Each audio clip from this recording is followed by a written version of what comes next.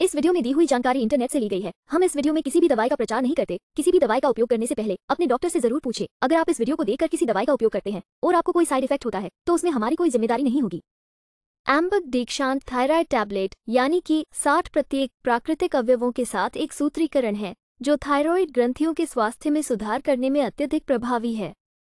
गोलियाँ प्रतिरक्षा प्रणाली को बढ़ाती हैं और मौसमी रोगजनकों से लड़ती हैं। चलिए जानते हैं इसके कुछ फायदों के बारे में।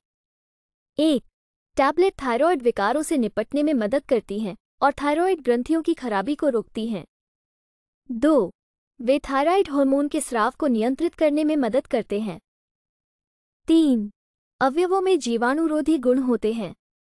चार, ये गोलियाँ थायराइड ग्रंथि को बढ़ने से रोकने में मदद करती हैं।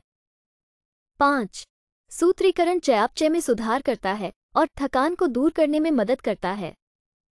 वीडियो को पूरा देखने के लिए धन्यवाद। अगर आपको वीडियो अच्छी लगी हो तो वीडियो को ज़रूर लाइक करें। साथ ही हमारे चैनल को सब्सक्राइब करके, नोटिफिकेशन बेल को और नोटिफिकेशन पर सेट करें।